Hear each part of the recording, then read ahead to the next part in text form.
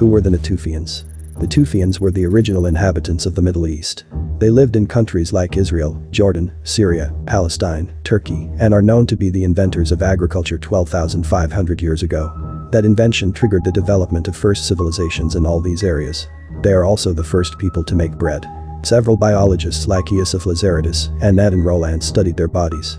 They found out that the indigenous people from the Middle East had Y chromosomes of African origin and that they didn't experience Neanderthal admixture. It made them different from all other later populations in the Levant. In other words, they were black African explorers who settled in the area after the last ice age. Their haplogroup, E1b1, is the main haplogroup inside the African continent today.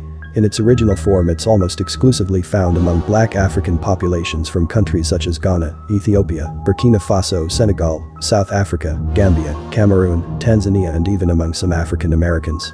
So, we can say that Africans invented agriculture.